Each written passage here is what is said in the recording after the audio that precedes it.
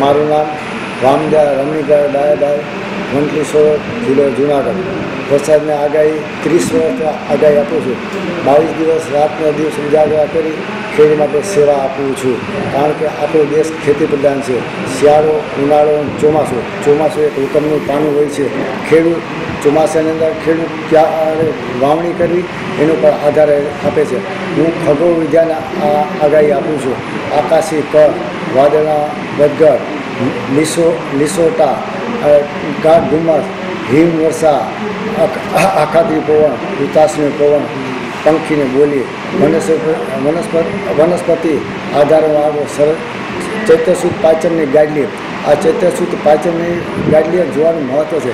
ખેડૂત વરસ આવશે કે વેપાર આ વર્ષે ખેડૂત માટે મધ્યમ રહેશે, વેપારી વરસ છે તો ચૈ- ચૈત્યસુદ પાચન ગાડી ચંદ્ર અને રોહિણ નક્ષત્રે દૂર રહેવાથી આ માટે વરસ વરસ સારું જશે ને મા મહિનાનું માવઠું અને કૃતિકા નક્ષત્ર વરસાદ થવાથી વરસ સારું જશે તારીખ મેં જે માવઠાના આગાહી આપ- પેપરમાં આપેલી છે, પચીસ ત્રણ ઉતારને બીજે પેપર માવઠા જે વરસાદ જે વરસે તે મેં માવઠાને આગળ છે આ હજી અઠ્ઠાવીસ પાંચથી ત્રીસ ત્રીસ છ સુધીમાં માવ- માવ- માવઠું થશે.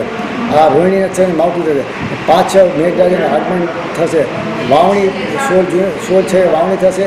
બીજી વાવણી સિત્તાવીસ છ વાવણી થશે. એક એક સાતથી દસ વર્ષમાં વરસાદ આગલું આ- વરસાદ થશે નહીં પવનનું વાયુ હશે. એટલે જુલાઈ, જુલાઈમાં વરસાદ સારો થશે, ઓગસ્ટની અંદર મઘા નક્ષત્ર અતિવૃષ્ટિ થશે.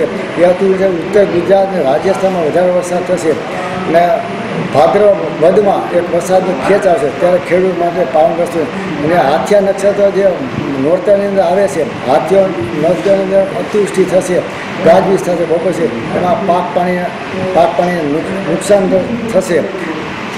આ વર્ષે રાજકોટ વિસ્તારના જે ડેમ છે, ભાદર ડેમ પણ થશે. ચૌદાની વરસ થશે, પચાસ, પંચાવન વરસાદ વરસાદ થશે, નેવું ટકા વરસાદ થશે. માટે ખેડૂત માટે હરખાવાની જરૂર નથી, કારણ કે છેલ્લા વરસાદથી પાકને ઘણું નુકસાન થશે.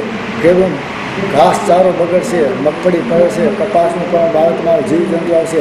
આ સાલે જે તીરપંખી આવશે તીરપંખી ભાદરવા વધની અંદર તીરપંખી જશે રાજસ્થાની બોર્ડર ઉપર આપણે નહીં તીડ જેવો જેવું આવશે. કે જે આ ખેડૂતનો ઘણો પાકને નુકસાન છે આ વર્ષે ઉંદરનું ઉત્પાદન વધારશે કારણ કે ગરમી પ્રમાણ વધારે હોવાથી આ વર્ષે વીજળીના કળાકાર ધડાકા થશે. જે વીજળી પડશે, સફેદ વસ્તુ ઉપર પડશે.